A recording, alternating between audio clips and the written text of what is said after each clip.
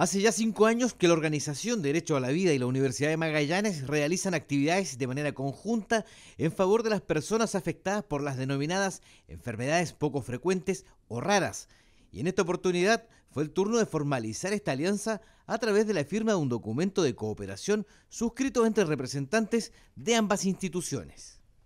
Esperamos que la universidad se involucre no solamente en el trato con los pacientes o en entregarles mejores calidad de vida o indicaciones, instrucciones para, mejorar eh, su vida, sino que también se traduzca en una posibilidad de investigación, eh, de estudio y de todo lo que significa avanzar en el contexto de eh, lo que son realmente las enfermedades raras y eh, en lo atrasado que estamos todavía como país eh, en cuanto a los requerimientos de cada paciente.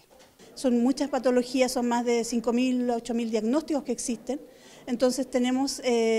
la posibilidad aquí en Magallanes de que tenemos pacientes, tenemos los recursos desde la universidad de poder avanzar sobre todo en la investigación. Entonces esa es la propuesta que tiene este convenio también de apoyar en ese sentido.